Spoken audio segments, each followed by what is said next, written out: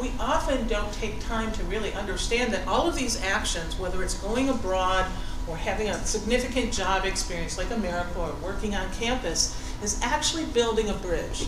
It's building a bridge of skills and experiences that we bring to the table every time we walk into a room.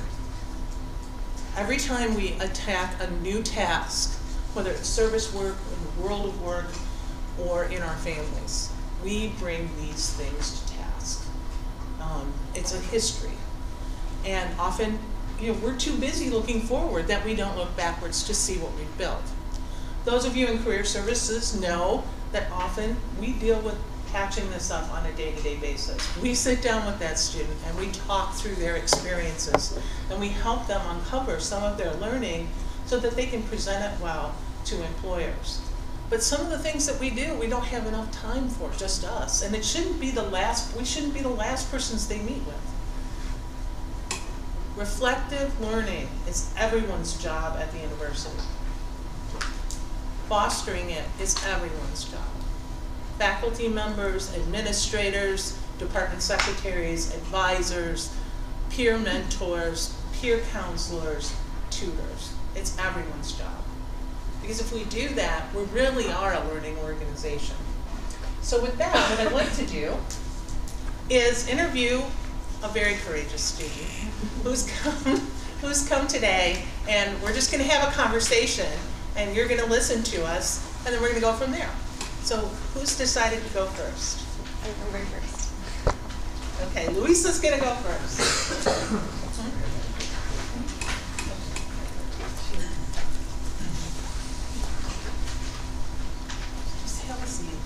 we talked a little bit beforehand, and as we've done this at other schools, um, I may ask some questions that, um, that she's not comfortable answering or that she just doesn't, just like, I can't think of that. So um, I've told her that's totally okay and to kind of forget about all of you out there. So we're just going to have this conversation and you guys are going to listen. Okay? So um, I'm going to have you use the mic primarily so that they can hear you and um, go from there. So tell us a little bit about yourself. You know, who, who are you? Where are you in school? I am a junior. Mm -hmm. I study marketing, um, a double major with advertising. Um, yes.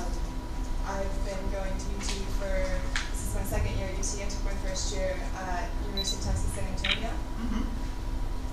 And um, That's good. And then where did you do your study abroad? I did my study abroad in Barcelona past semester. And what did you go there to learn? I went there to learn Spanish. Um, I've always been, I've learned Spanish at school, but I felt like I needed more practice with it. And just to get out a little bit, see what else is out there in the world. Mm -hmm. So, um, where did you stay in Barcelona? I stayed in an apartment um, with two other girls that were also from UT. And um, we had a really good time. Define really good time. um, we met a lot of people from all over the world. Um, we met a few locals, but a lot of people really from everywhere. And um, made really good friends that will probably last for a long time. Can you give me an example of one of those Um, of a person that I met? Yeah.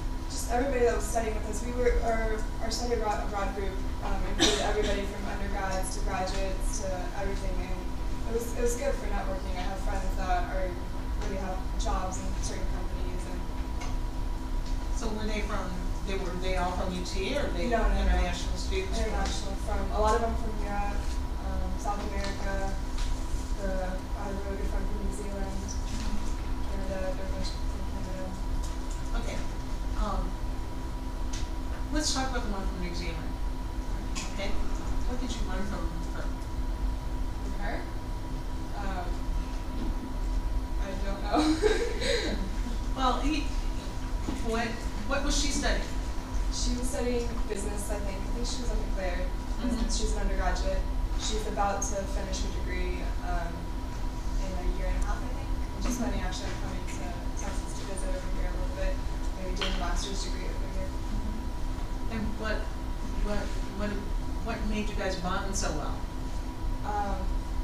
nationalities are very compatible. I've always wanted to go to New Zealand as well.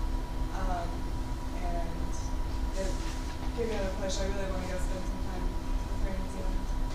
So you're building on some mutual interests. Right. Right. And, so do you she's got an interest in Texas, you've got an interest in New Zealand. Um, you know, what do, what do you want to do when you go to New Zealand? Are you just going to be a tourist? Do you want to work in New Zealand? I don't think I'd want to work in New Zealand. I think it's a little too far for me. Okay, okay. Um, when you were studying Spanish, um, how would you say, how, how much did your Spanish improve over the time you were there? It improved a lot, a lot.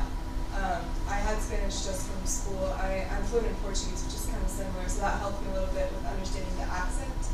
But um, I used to speak a mix between Portuguese and Spanish, and now I can define separately the two languages, which helps me a lot. And it helps me a lot in spelling. I had to write essays in Spanish and read, and especially listening. I can understand anything in Spanish. What was your, what was your classroom experience like? The classrooms were pretty small and they were very case-based education, so we had a lot of guest lectures from um, directors of companies that uh, basically just gave examples the entire class period. So we barely had any classes with professors teaching theoretical things. Okay, so they balanced with the professor teaching the theory, right? I'm sorry? They, they balanced with the No, no, there was a, uh, I had a few classes that the professor only taught one class of, Okay. of the entire semester. It was mainly case studies. Case-based, and so you met directors from different companies in Spain. Yes. Can you give me an example of that? Yes, I met the um, director of IKEA in Spain, and that was really interesting. He told us about how IKEA started, how it spread, the history of the company, what they did, their philosophy marketing, how they can keep their low cost, their costs so low, and sell just by quantity, making a profit. And did that help inform any of your thoughts about marketing? Yeah, definitely. Um, just the practical side of how things actually work in the real world, because I heard so many cases that is really different than the theories that I've learned before I went.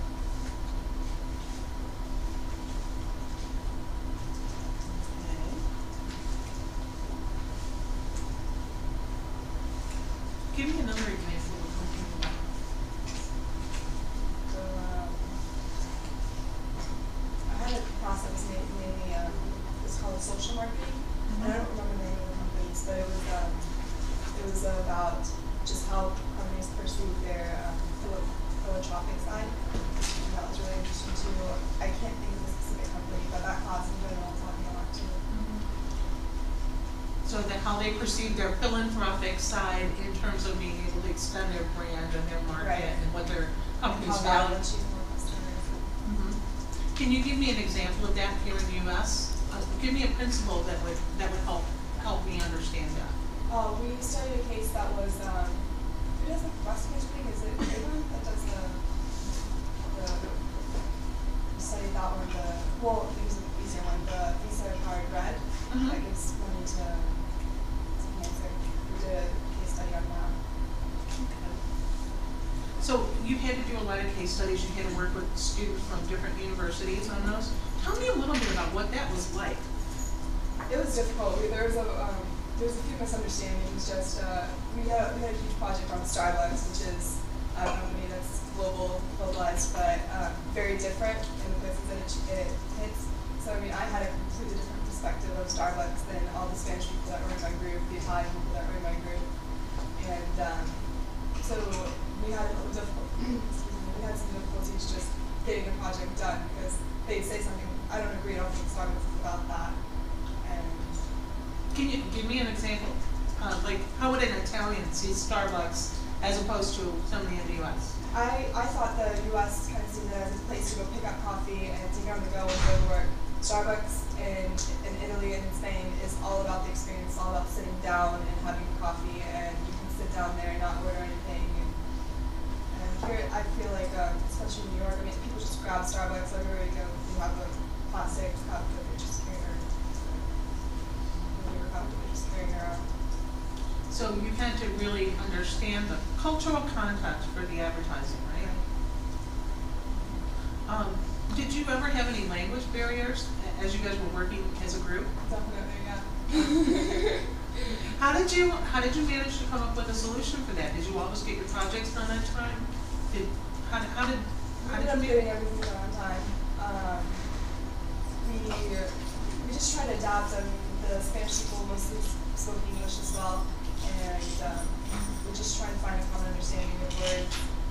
There was, um, an interesting experience with my roommate that they were, they, someone had to find a, um, what is it, uh, public company, and, um, all the Spanish thought that public companies were companies owned by the government, and whereas here we as companies that have stock.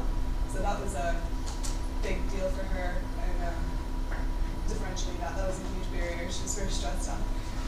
So when you think about, that's a, that's a huge misunderstanding. Yeah, huge. And that could really impact the accuracy of the final Exactly, report. because they had to pick a company that was um, that was public, and she wanted to pick a, a Starbucks, and they wanted to pick Mm-hmm. a.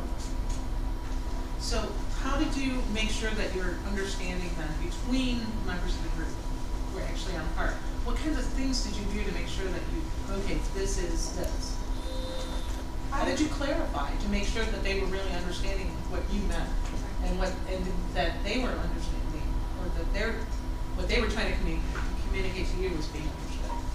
Uh, we depended a lot on the people because they knew better what to expect from the teachers. So we had them as just to lay out what we had to do for each project because in Spain they don't give a lot of guidelines when they set up projects, and that was that was very difficult to deal with.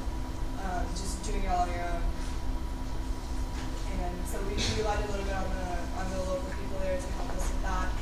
And they uh, they were it's a small school and they're used to having a lot of exchange students, so they were really receptive. So we relied on, on people who had past experience. Right. So you had to do a lot of things on your own, and that, that's really different than here. Okay, tell me a little bit about how you felt in that process. I, I panicked for a little bit because I did these prompts that was like, um, write what you think about the internet and for a marketing class and I mean, I don't know how many pages to write, I don't know what aspects to write about it, I have no idea. And I just emailed the professors and asked for more used to here having a syllabus with what we're gonna do every day and all this stuff and it was completely different. Um, and you just had to work through it and hope, for a good grade, and when you got it back, uh, maybe try to change and build on top of what you, what you began to learn. How has that changed your learning now that you're back here in Texas? Uh, I feel like it's a lot more structured here. It's easier to be, to know exactly what you have to. But um, Do you ever go beyond what you have to do? I do sometimes now. I'm trying to get back into the swing of things, but it's, it's pretty different. Um, I know, I feel like the classes, um, I take a lot more from the classes here, but um, it's stuff that I feel like could, because it's more theoretical, it could um, be of a lot more use than just case studies. But I know that case And it's just, a, it's completely different kind of learning. Mhm. So imagine yourself going into your first job. What's the most significant thing you learned about your, yourself during your study abroad experience that you think would add value to an employer? Um, that's a great question. About myself. Just how to do things myself, how to not know, not be told exactly what to do, just get, be given an assignment and work around other resources to find a way to do it. Go anywhere on the weekends? Yeah. Uh, did a little traveling in the south of Spain, uh, Geneva, London, uh, and Madrid. Who organized these trips? It was uh, mainly me and You and your roommate? Who took the lead?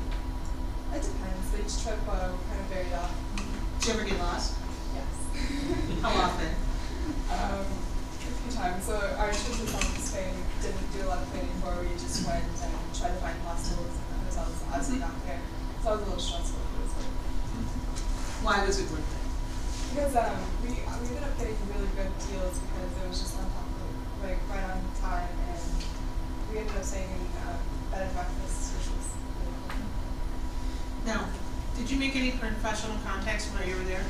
No, I didn't. Why not? I don't know. um, I knew I could an internship for my student allotment, so I didn't make any contacts. Uh, I have contacts with professors who have a lot of contacts. I just I met them during their.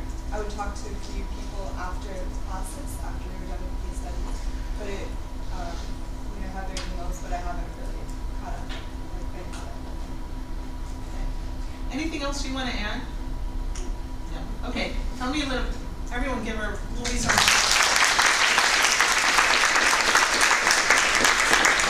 Tell me a little bit, how, how are you feeling? Did you know where I was going with these questions? I have no idea. What did you guys see? Did you see a very prepared student? I saw, what I saw you was very gradually teasing from her transferable skills from her study abroad experience, that she can handle ambiguity, that she can work independently, that she can, um, get lost but find her way back, that Mhm. she's comfortable with people from different environments. Adaptability. Yeah. And other things, it's here. One I noticed was she began a little bit like this picture on the front of this pamphlet of talking about the fun times that were there and the people and, and I presume pub crawling or whatever else. And then it was only upon uh, pressing her did she start talking about the, the, the sort of things that she learned that one can apply to, the workplace. So you, kind of, you guys all kind of noticed, I had, she'd say, oh, this is really great, and I'd have to say, what was really great about it? I met all these great people, and then I just happened to pick a person from New Zealand, just, just because, and I'm still trying to pull from, what, what's there? What's there?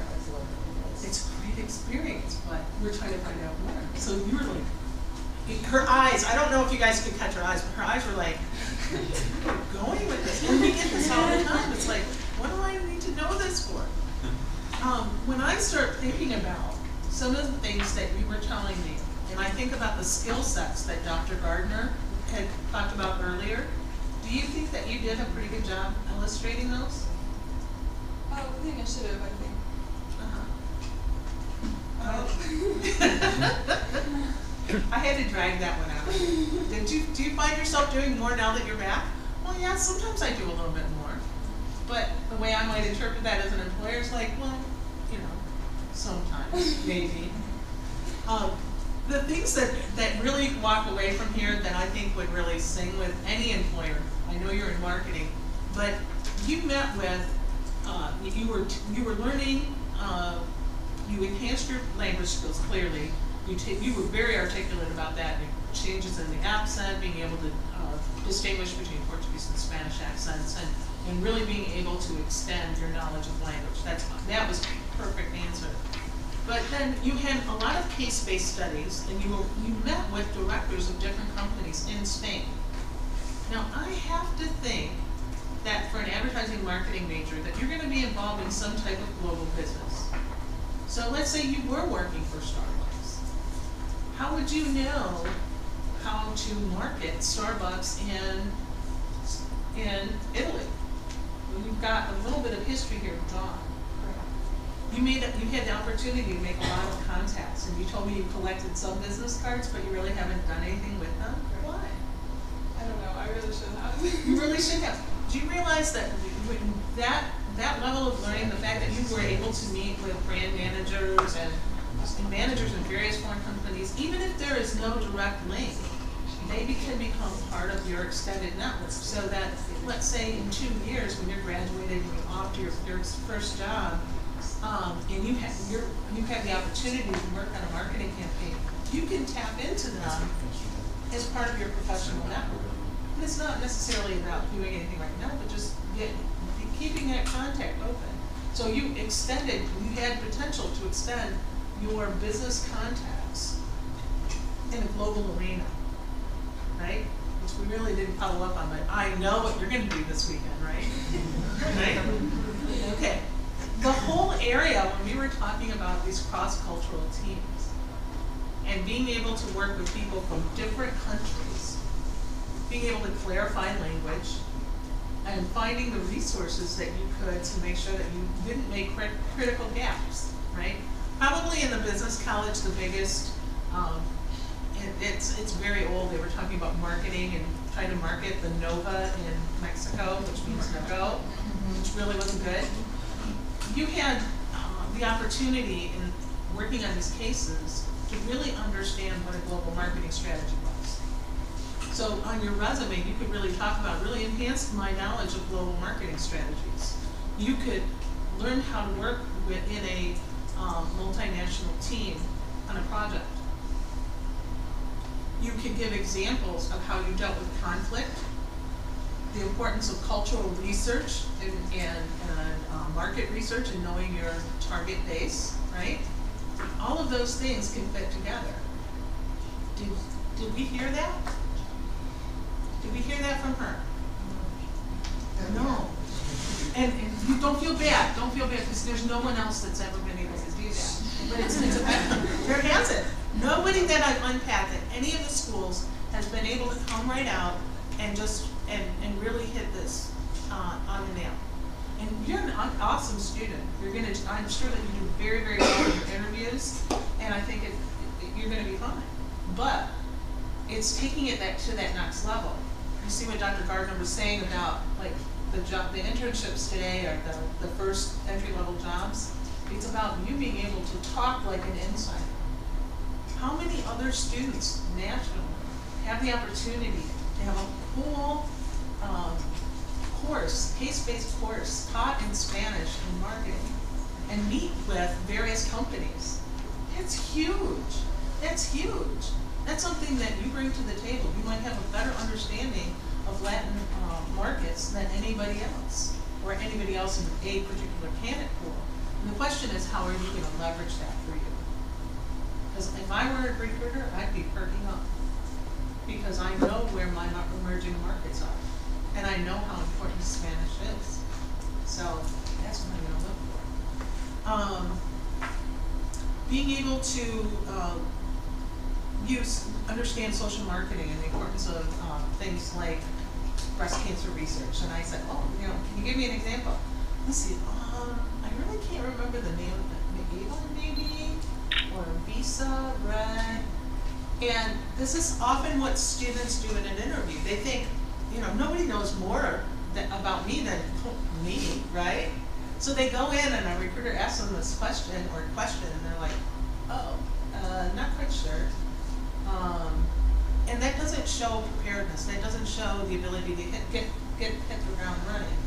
But you have such a myriad of skills here, the mutual interest, the personal contacts alone that you've made. In two and a half years, when you guys are both graduated and now on your way,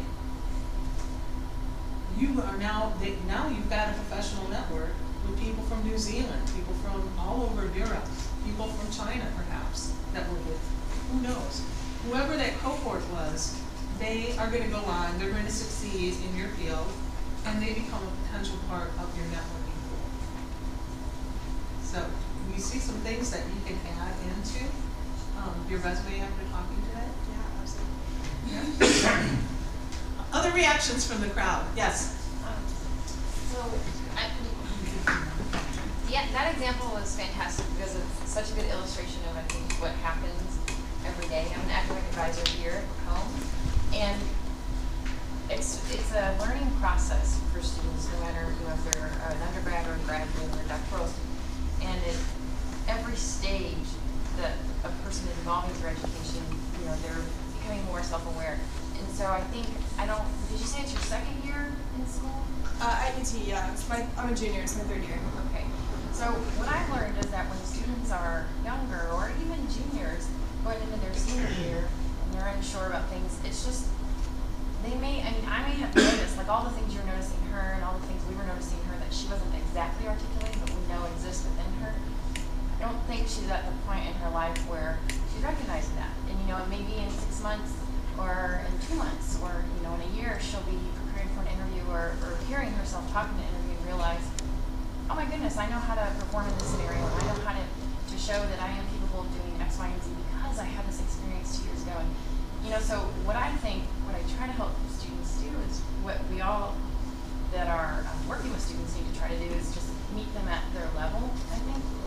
So maybe if I were talking with her she were one of my students, I would, what I heard from her that I thought was great for now, like using now, because I'm not in an interview if I'm advising her in my office, um, is talking to her about how her grades are her performance in classes.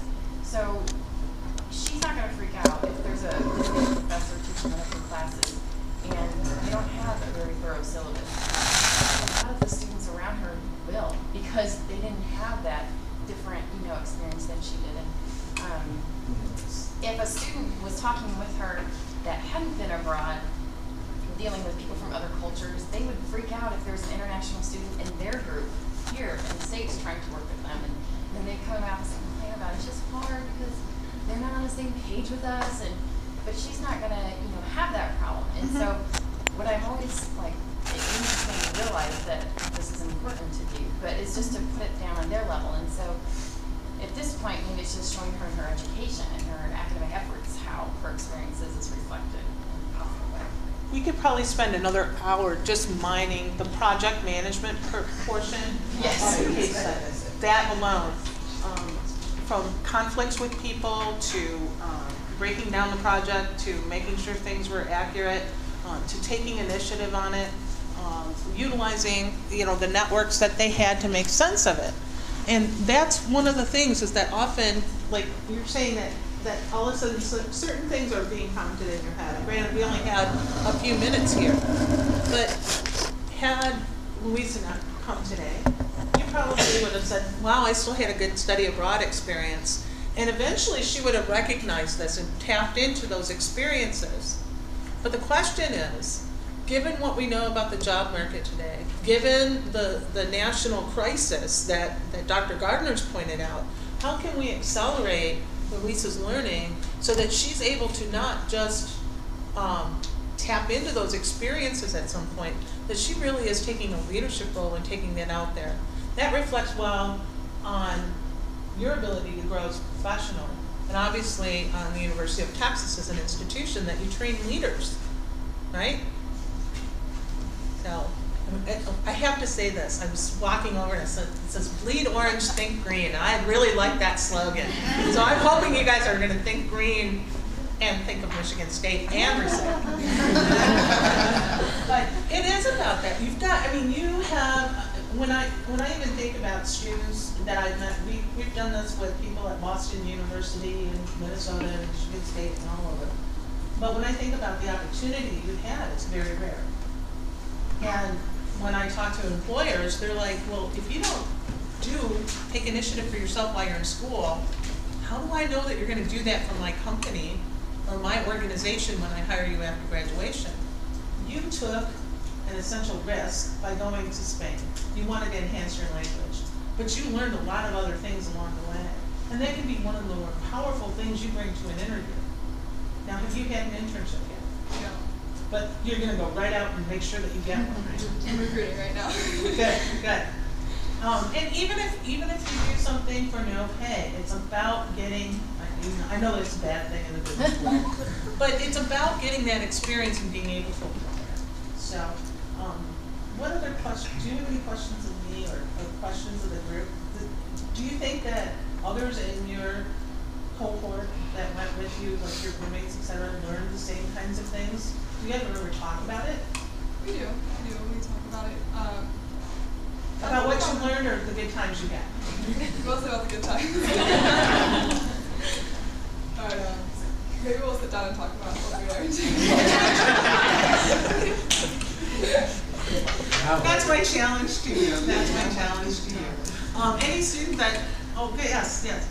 I actually want to ask you a question, and I'm thinking about this idea of both scaling this idea and being able to unpack it. And answer honestly, if before you had gone on the trip, you had seen that list of, these are the skills that employers are going to want, would that have influenced you any in the way you thought about your experience while you were there? I mean, we can give you the list coming back and say, all right, think about how to apply things you had. But do you think you would have drawn more from your experience if you had been thinking about it on the way out, or would it just have been Barcelona, you know?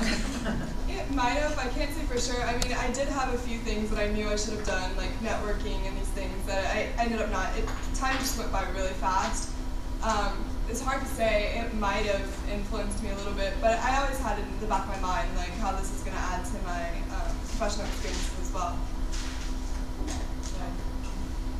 I know that answers your question, but Yeah, I mean, you did. There wasn't a, there wasn't a right or wrong answer to that. I wanted to just see what There's, yeah, there's two questions here and and in the back. Do you find a difference in interviewing females versus males? Versus women? Um, A little bit, yes and no, it depends, it depends. I, um, uh, females tend to be a little bit more, um, forthcoming about how they're feeling.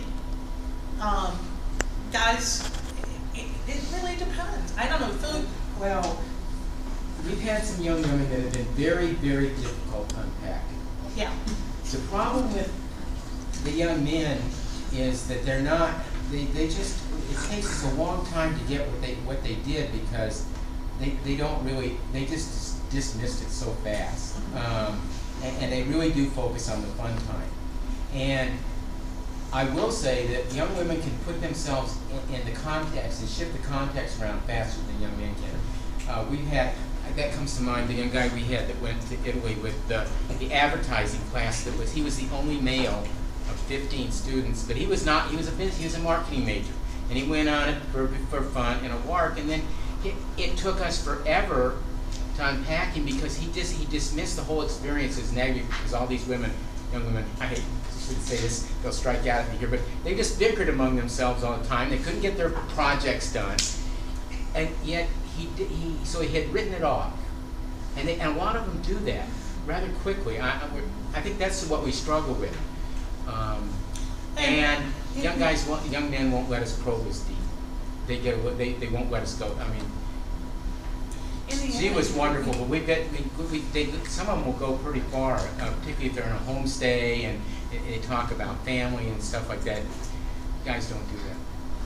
Yeah, the- often, uh, the culture, like, uh, learning to adapt to another culture, I mean, yours was so rich because you had a variety of international students in your, in your group. I didn't really have to probe, um, well, she was staying with UT students, so she had a, a a foundation. But people that are living in homestays, you can prod and, and it's often very difficult for them to, um, manage that environment. And how do they adapt and how do they fit into the family? There's so much there, um, to deal with. We did a ma- uh, male at the Boston conference, um, and he was a business person who had pretty much decided he wanted to work in Spain. And he had gone to every length to, to figure out how he could get EU citizenship.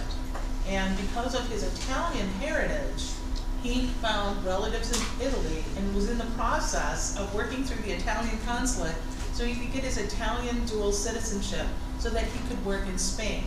And he, we were talking about this, the lengths that he had gone to were excellent examples of initiative that not everybody would do, but he was totally dismissing it. He's like, I'm a general business major and all I know is I wanna work in Spain. I said, good, what are you doing for that? And We began to work through it. And he had set a goal, he was going above and beyond to make sure that it happened, but in his mind, it was totally dismissed because, you know, I, I'm really thinking about changing my field. It's funny you say that because um, I also want to work in Spain, and I um, am getting my EU um, citizenship through Portugal right now. Ah! Well, what a coincidence. She should be taking the notes. See, and, and, you know, obviously, if you go over there, you're gonna have to have a set of, of employer contacts, which, you know, of course, you have those business cards for. There was a one question way in the back. Yeah, I, well, I, I, it's maybe more of an observation than anything else, but in, in working with students for, for over fourteen years and watching the whole process take place, what happens is that the remarkable, they recognize it as the remarkable when they hit the ground and they think, oh my God, look what I have to do. But because the remarkable so rapidly becomes ordinary, by the time they come back, they don't see the metamorphosis they've been through. And sometimes some things just as simple as setting the stage by saying, compare yourself now with where you were in advance, or where you were a year ago, how nervous you were, and what you didn't know, and all the things that you went through to get you to the person you are now, can also kind of help to open them up a little bit. And it's not just with this, because we do the same thing as advisors all the time when we're helping students, whether it's with essays or whatever else. It's to take them from the point of where they've drawn their conclusions, where they've ended with, these are the conclusions I've drawn. And have them go back to the things that led them to draw their conclusions, to be able to provide the illustrations for how they got there. That's the piece that seems to be missing across the board. it is, it's It's not just study abroad, it's everything. I mean, your career services colleagues can tell you this. A student will have a, I, I, I talk to students who often have data entry jobs, okay? So, you said you did data entry, yeah. What kind of, what kind of data were you entering? Numbers?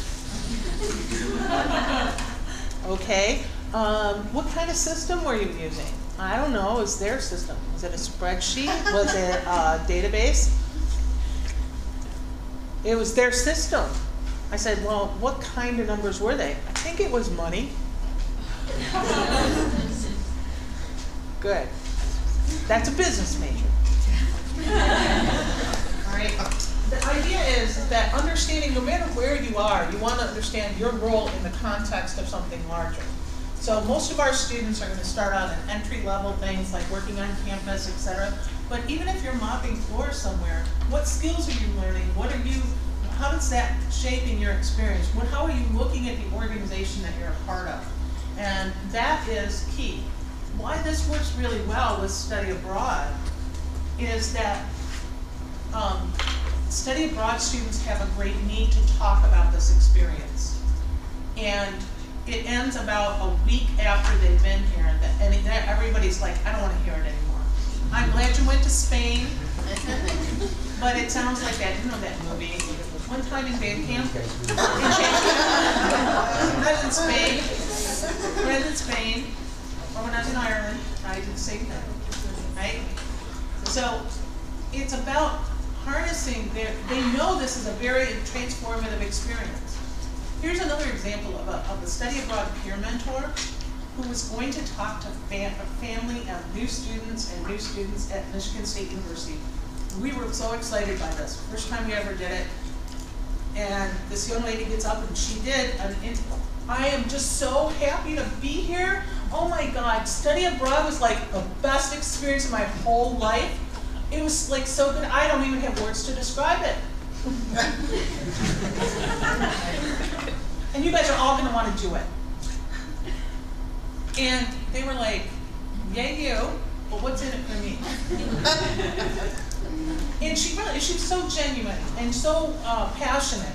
And she had gone, uh, she had been in uh, Strasbourg and had gone to um, the, the EU capital and, and done some things there. She really had a rich experience, but she really hadn't done, hadn't broken that down to be able to communicate it to someone else, so that they could see a value or they could say, oh, I could use some things there. So an employer, the things they can use from Louisa are her contacts, her experiences, those things that she's going to bring to the table. When we're talking with our students about the job search process, we have to get them out of thinking about themselves. We tell them it's a lot like dating. And you ask them, okay, well, what do you do if you find somebody you want to date? You check them out on Facebook, right? Right? Oh, yeah, yeah. You check them out on Facebook or MySpace. You might ask a friend about, you do a whole bunch of research before you get up the nerve to talk to that person, right? If they applied that same thing to any organization they're gonna work for, whether it's a fine arts organization, a social service organization, a business, um, they would be that much further up. They put more energy into who they're gonna date than who they're gonna work for. And all of a sudden they start thinking, man, that makes sense.